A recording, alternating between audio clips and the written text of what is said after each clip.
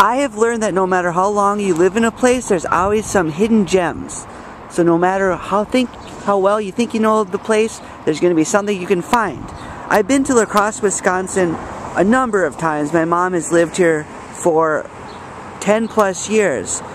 So I've gotten around in this place. But still, there was a gem I found one time when she moved to a new location. This gem is called Little Houska Park. And indeed, the operative word is little. Little Houska Park is barely a patch of grass. It is on South and Farnham in La Crosse, Wisconsin. There's nothing listed about it anywhere. It's by a busy highway, yet it is hidden somehow. It has a sign, Little Houska, La Crosse's smallest park.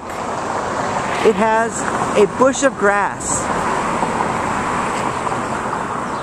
Not too much there, you see. But that's the beauty of it, my friends.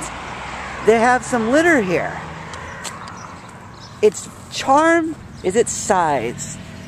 Its very small size is what makes it unique. I even wrote to La Crosse City about this, and the Parks Department about this, asking if they knew the history about it. But friends, they don't know the history. They didn't write back. How many people in La Crosse know of Little Houska Park? Not many, and don't confuse it with Houska Park. There is another park called Houska Park. Little Houska is a great place for a date, a great place for a picnic. Little Houska Park is a great place for anything. I even ran around this before.